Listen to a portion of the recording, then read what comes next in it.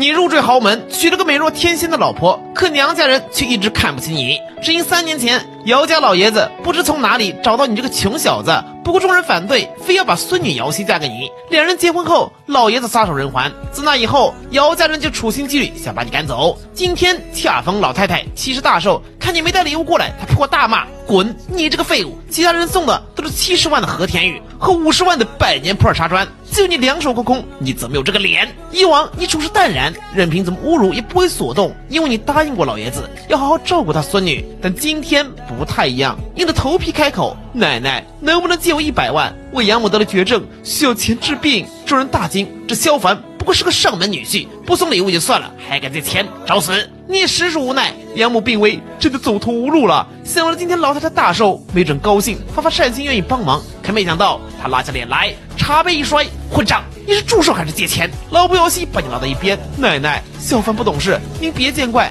现在这是困难时候，您就帮帮他吧。他妹下贱冷笑：“切，你嫁的都是什么垃圾？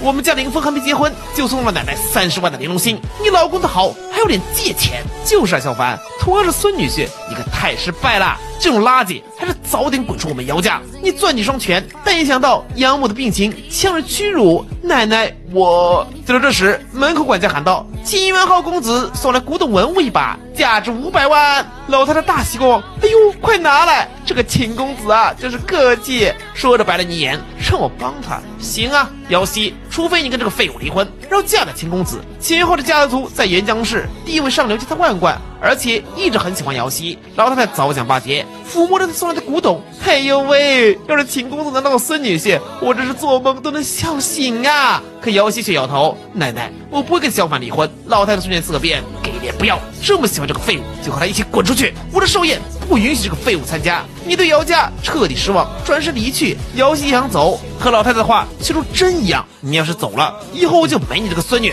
你爸妈都得给我辞职，滚出姚家！”你叹口气：“瑶瑶，你留下吧，别连累岳父岳母。”林峰丢出硬币到你脚下，臭乞丐，拿去买个馒头吧！别说在我们姚家寿宴上饿着了，就这样，在整个姚家的呼啸声中，你离开了。走到医院缴费处，想和护士沟通下，让医药费再缓两天。可却得知养母已经连夜被送去燕京最好的医院。你急了，这这得多少钱啊？可护士却疑惑，已经有人替你交过了。谁？小护士摇摇头，我也不知道。好了，别打扰我工作。就在这时，一个中年男人走到你身边，深深鞠躬：“少爷，这么多年您受苦了呀！”你皱眉：“你是林修缘吗？”少爷，你还记得我？你表情一凛，好像想起什么，浑身气场都变得不太一样。我当然记得，当年就是你们逼死我爸妈，让我一路逃亡成了孤儿，现在又找我作甚？林修缘懊悔无比：“小少爷，当年老爷也只是想让小姐改嫁，可没想到少爷他那么刚烈。唉，这么多年他一直在找你，现在好了，您跟我回去见他吧。”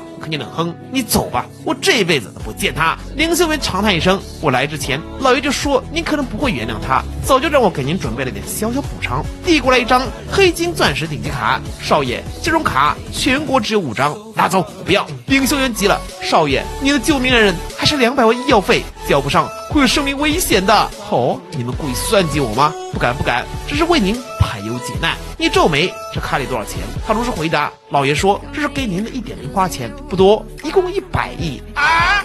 你听懵了。虽然知道爷爷家里很有钱，但具体多少不清楚。一百亿都只是零花，恐怕真实财富得万亿以上啊！林修缘去加麻。哦，对了，沿江市最大的企业，市值一千亿的昊天镜集团，昨天已经被萧家全资收购，股份已全转到您的名下，明天就可以去交接了。你不敢置信，老爷的手笔这么大，一百亿的黑卡，一千亿的昊天镜集团，就连今天羞辱自己的姚家。在昊天镜集团面前，也不过是个小喽啰罢了。凌霄元交接完后，恭敬转身就走。他知道小少爷还需要时间考虑。等你回到家的时候，家里已经闹翻天，岳母怒骂你是个废物，丢尽脸面。姚熙，你再不和萧凡离婚，你奶奶怕是会把我们全家都从姚氏集团里赶出来。姚熙身体颤抖，赶出来我就去找别的工作。你那个废物有什么好？人家秦元浩公子这么追求你，嫁给他，我们一家都能扬眉吐气。这时候你推门进来了，岳母冷哼。一个废物还有脸回来？你只是低头，妈，对不起，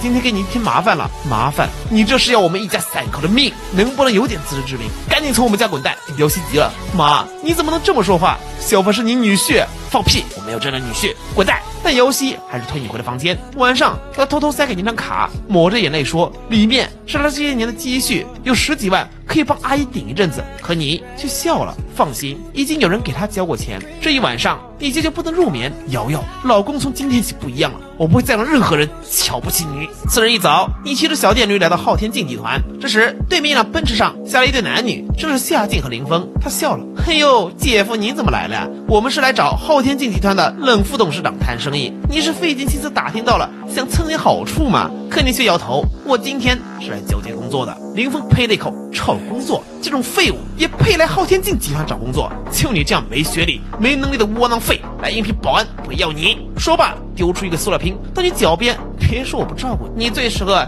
当个清洁工，捡起来卖钱吧。嘎嘎嘎嘎嘎！你呵呵一笑。我找什么的工作，无需你多操心。昊天镜集团是大企业，我相信他们不会跟你这种素质低下的垃圾合作。林峰暴怒，彻底疯狂。但今天是来谈合作的，动手不太好。呸了一口，下次我见到你，你转身离去。之前早从林秀云口中得知，和你对接的是一个叫冷若雪的女人。来到副董事长办公室，一见到你，她恭敬无比。少爷，您能屈尊到我办公室，我无比荣幸。你淡然坐下。未来我不会经常来集团，所以这边还是要你。主持大局，另外也不要对外透露我的身份。这时，女秘书敲门进来，冷副董有个叫林峰的带着未婚妻来拜会您。你笑了，你认识这个叫林峰的吗？冷若雪解释，林家是集团下一个很小的合作商，一直想多接点业务，约了他好几次，今天难得有空，勉强答应见一面。你冷冷道，从现在开始终止和林家的一切合作，告诉他，就是昊天竞技团不会跟素质低下的垃圾合作，让保安把他们轰出去。是少爷，为了夏静和林峰，正满心欢喜等着。正好女秘书带着好几个保安到来，满脸堆笑。请问冷冷副总有时间了吗？秘书冷哼：“对不起，我们冷副总说了，不会跟你们这种素质低下的垃圾合作。今天起，合作全部取消。”林峰震惊了，这话怎么这么耳熟？是了，萧凡之前也这么说过。他如做冰窖，林家一大半盈利都是依靠昊天竞集团。如果终止合作，对他们将会是毁灭性打击。我见冷董，让我当面问问清楚。说着，就想冲上来。可秘书一挥手，保安队长就走上前，抓住手腕，赶紧滚！敢在昊天竞技团闹事，当心我废了你！林峰吃痛咬牙，你一个小保安，你敢跟我大呼小叫？知道我是谁吗？队长一个耳光上去，在昊天竞技团面前，你他妈算什么东西？林峰脸上火辣辣的，刚才暴怒，手机却响了起来。电话那头是老弟震怒的吼声：“畜生，你在外面干什么了？现在非但昊天竞技团要跟我们解除一切合作，其他和他关系好的公司订单也都没了。”他们说，之所以解除合作，都是因为你是个没素质的垃圾。你马上给我滚回来，亲自跟你爷爷解释。